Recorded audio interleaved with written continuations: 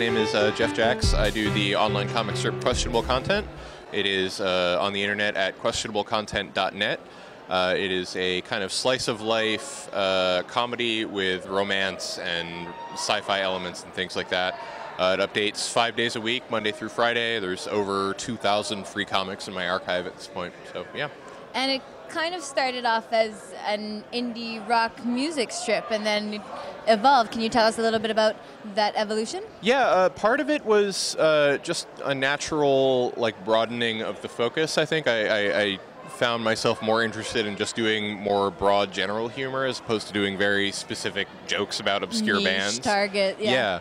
yeah. Um, so part of it was a conscious decision to kind of make it a little bit more accessible, and part of it was just me wanting to do that kind of humor. Um, and then uh, some of it was my comics continuity as well, because the pace of the strip is so much slower than in real life Mm-hmm. that I, I, I would get to the point where I'd be, you know, having a character make a joke about the first Arcade Fire record in, say, 2004, and then in 2007, maybe they're talking about the second Arcade Fire record, but in comic time, it's only been six months, and so that didn't really make sense. And so I was like, okay, I'm gonna kind of phase that out and maybe make it a little bit tighter.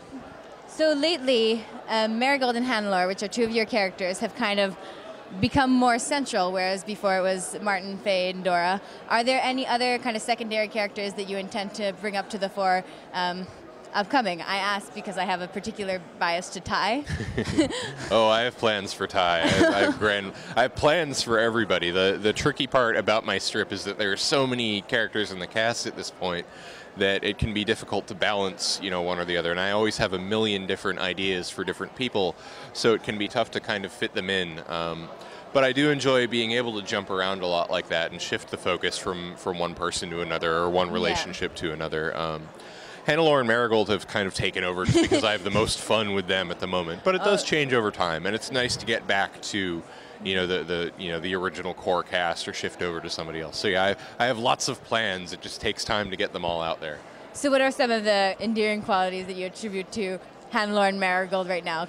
I think in Hannelore's case, I think a large part of her appeal is that you know every, everybody kind of identify. Everybody has some sort of neurosis. You know, mm-hmm. most of them are not nearly as severe as hers, but everybody's got some sort of mental thing that they struggle with. And I think you know when you see that in a, a character in a, in a comic book or any kind of media, you intend you like inherently like kind of root for them and you mm-hmm. want them to succeed. And so it's fun to watch her kind of try and cope with her problems and, and deal with them and you know sometimes fail and that can be funny or, or a little sad or whatever. Um, so she, she's just a very i think appealing character. As with marigold I, I feel like everybody either knows a marigold in real life or they are. That that character in themselves you know in- kind of nerdy shut in socially awkward.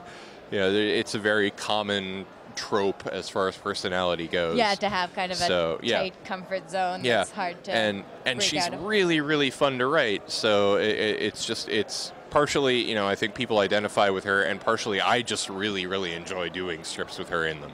So you know even if people didn't like her, I'd probably just keep ramming her down their throats because she's so fun to draw. And so. questionable content has been running now for nine years Yes. this upcoming August. Yep. And um, do you have any kind of other projects you are helming, or is this really kind of the love of Uh, your life right now? This is definitely like this has always been the focus, and I, I see that remaining the focus of my career for the foreseeable future. Uh, I do have a bunch of side ideas for projects that I want to work on at some point, and I've also got a few like kind of secret things that I'm working on right now. Uh, I, I'm working on a, a video game project right now with a, a bunch of other creators that I'm not allowed to say much about right now because it's in the very early stages. But uh, when we get the ball rolling public publicly on that, I think it'll be a pretty big deal. I'm really excited about it. I really like how you're kind of going over different mediums, because even then you started, you also started um, a band, Death uh, Deathmøle, right? Yes, yes. And yes. that was originally from the comic, but you were like, I really want to make some music. Yeah, it, it- kind of started out as like, oh, I'm going to write some like really stupid metal songs because it's fun to play, and you know, and it's just four really four chords really fast. But then the more I started doing it just as a joke, the more I realized like, wow, this is actually really fun and challenging, and and so I started taking it more seriously and, and putting more effort into it, and now it's become pretty much like my chief hobby outside of the comic. I spend a lot of time like writing and recording music, and it's really fun. It's really rewarding because that's what I that's what I went to school for. I have a degree in music, so it's always been like a big passion in my life, and it's really great to be able to do that and, and have a bit of an audience for it and have an outlet that I can that I can get it out there. And I saw somewhere that you said that, you know, if you could go back nine years, the one thing that you would add to your education is business lessons. Oh, God, yes.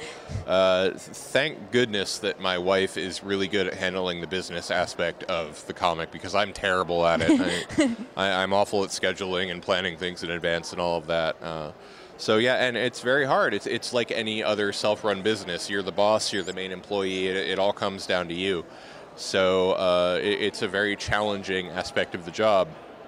Um, and and the more you know about that, the better off I think you are. A, a, lot of that I've had to kind of learn on the fly, and that's that can be difficult and risky. Um, I've been fortunate in that I've, I've learned how to kind of delegate things and get shit done. I but, know what you mean. Yeah. I mean, it's there's a very small margin of error. Yeah, like exactly. if you mess up your taxes. Oh, bad news. whereas art, I feel you could do trial and error. Yeah, so you'll exactly. write panels or Yeah. strips, and then you'll learn from, oh, Yeah. that didn't work. This works a little bit Yeah, well. and one of the great things about doing like a, a serialized sequential thing is that you know sometimes I have a bad day and, and I write a comic that I'm like, well, okay, maybe that's not the best one that I've ever done. But then mm-hmm. I have the comfort of knowing that oh, I get to try again tomorrow, and tomorrow will be different. And so there's this constant sense of progress that I have that is really rewarding.